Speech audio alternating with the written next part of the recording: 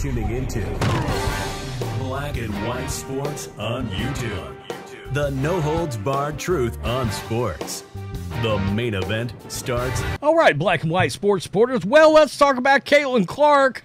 We've got a couple of things. Number one, she's going viral just about 10 or 15 minutes ago at the Indianapolis Colts Pittsburgh Steelers game, where, man, if Justin Fields don't start playing better, we may get a Russell Wilson sighting in this game. I mean, I kid you not. It's not going well. By the way, Anthony Richardson hurt again. Uh, I tried to tell you. I really did. And I got to tell you, before we get to that video that's going viral, the the treatment of these ungrateful, fuggy WNBA players, they should all be ashamed of themselves. What have we said? These players hate Caitlin Clark, and she's going to make them a lot of money and in fact, she tried to get them more money this year. All right, Caitlin Clark was very aware of the impact she was making around the WNBA uh, when it came to actual attendance. Now, what does that mean? That means when a bunch of extra people show up for your game, the gate, the revenue is way higher. All right, great example Atlanta Dream. They draw three or 4,000 fans Let's say their gate's 150 grand. All right. Um, 17,000 show up. You're probably talking about a million bucks. And Caitlin Clark tried to get these players, which is unfathomable uh, after the way that she has been treated.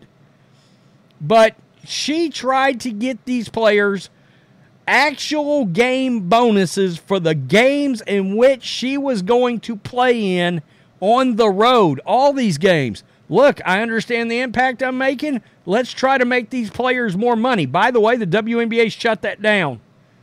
They wouldn't honor Caitlin Clark's wishes. And all these players have attacked her.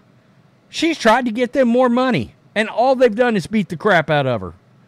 It's crazy.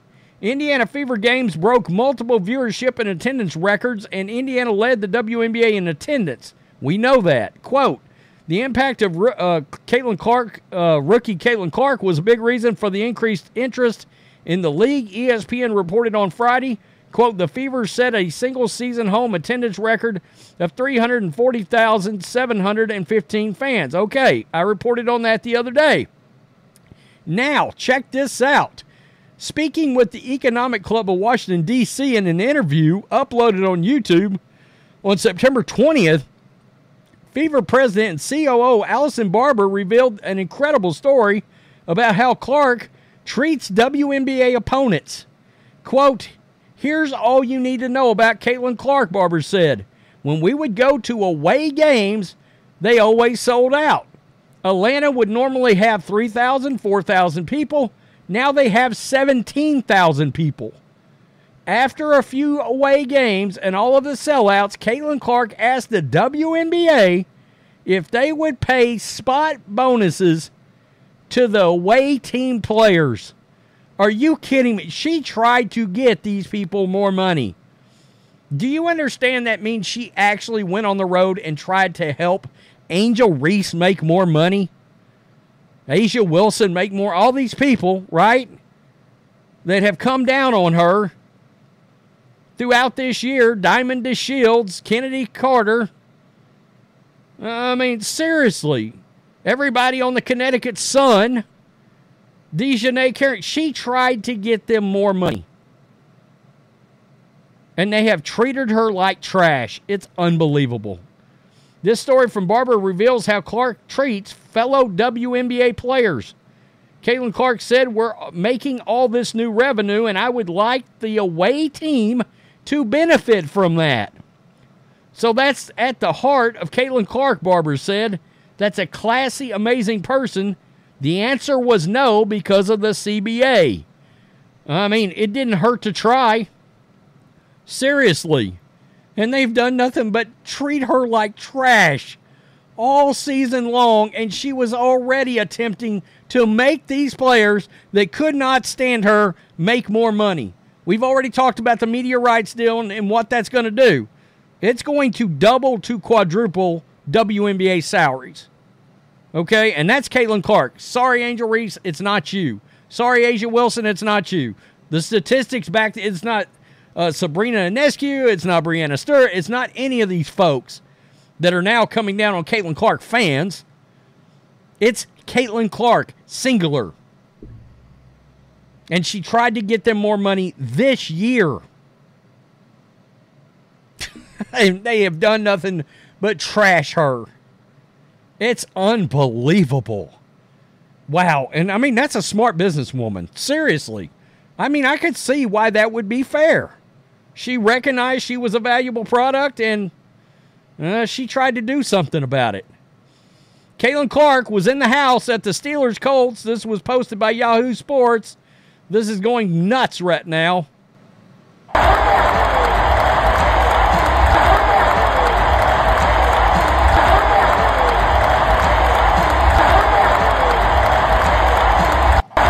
I just got to wonder. And she was, of course, shown on the, drubble, uh, the Jumbotron there at Lucas Oil. Um, would the reception have been as well for Angel Reese or one of those guys from the WNBA that's supposed to be so so popular?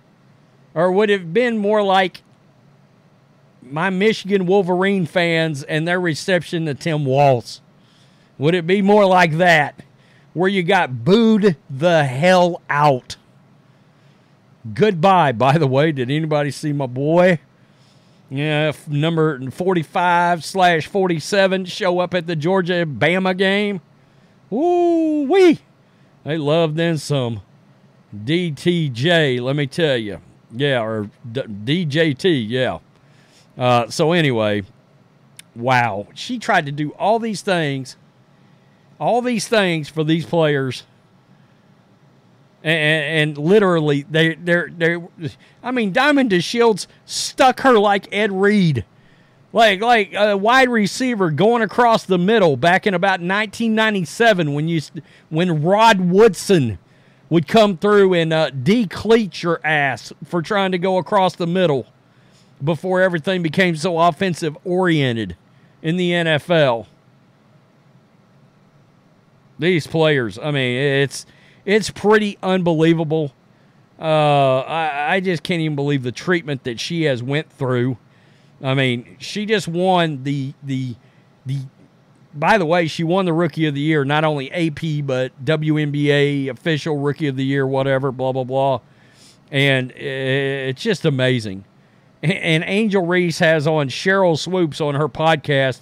Ask her if she wants to coach the Chicago Sky after she got ran out of Loyola for for uh, mistreating uh, college players, abusing them. She was accused of abuse.